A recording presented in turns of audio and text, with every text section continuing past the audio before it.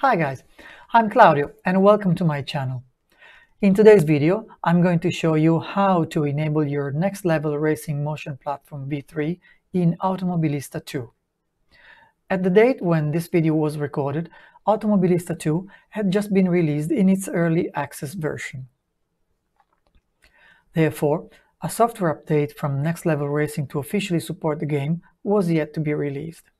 But hey, don't stress. As you may know, the new game has a lot in common with Project Cars 2. With that in mind, I decided to create my own profile using Project Cars plugin. Here's how I did it. Let's bring up the platform manager. Now, if you have one of the Project Cars games, you'll have your game profiles already here. If you don't don't own those games, don't worry. Just go to the top of the window and make sure you've got all game profiles visible. Scroll down until you find Project Cars, either one or two. When you do, click on it and then click the clone button on the left hand side.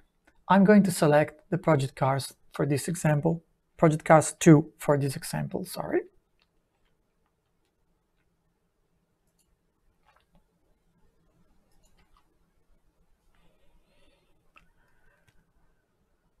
A new window will pop up, and now this is a critical part of the process.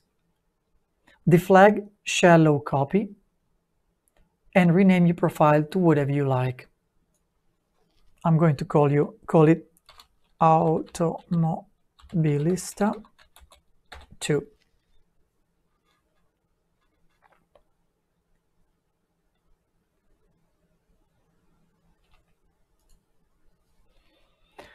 Find your new profile. To make it easier, select Only Installed in the drop-down menu at the top of the window. Click on your new profile and press Edit.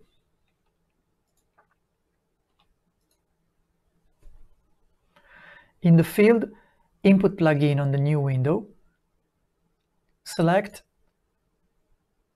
Project Cars or Project, Project Cars 2 to match what you copied it from. In my case, it's Project Cars 2. In the field Transformation Type, select Script. Go now to the box beneath and select the tab Other. You may or may not have any of these fields. If this is empty, click Add here below.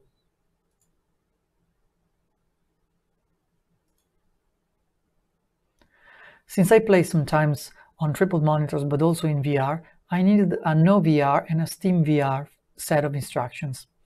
Here, you basically point the software to the game as executable files, and because there are two different .exe files for VR and non-VR environments, that's why I've got two separate commands. Now, you just need to locate the Automobilista 2 executable files.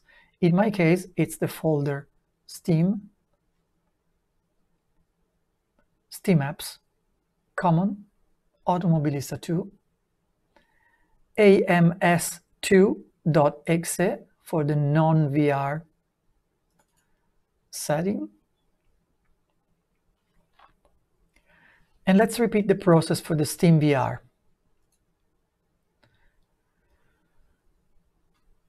Steam, Steam Apps, Common, Automobilista 2, ams2avx.exe this time.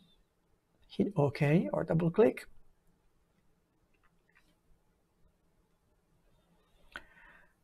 Save and close when, when done.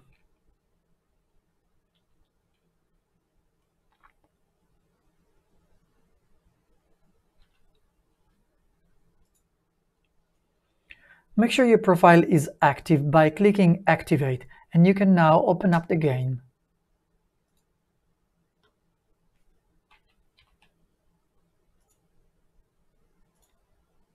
I'm going to start the game in a non-VR mode.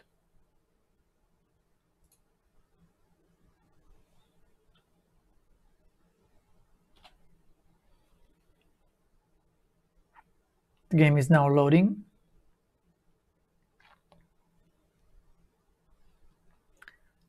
In a few seconds will be few seconds will be in the menu and then we'll have to go in options system shared memory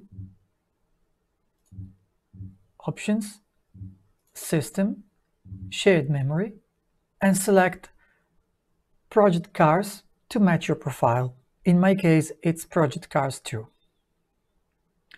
we don't need any of the UDP uh, options here so let's leave it like that restart the game select your favorite car and track combo and adjust your just created motion platform profiles profile to your liking. Now I've already got the profile created so I'm not restarting the game. I'm going to show you, however, the platform diagnostic window while driving and that it and that is to demonstrate that the software is reading the telemetry data from the game and outputting signal to the motion platform.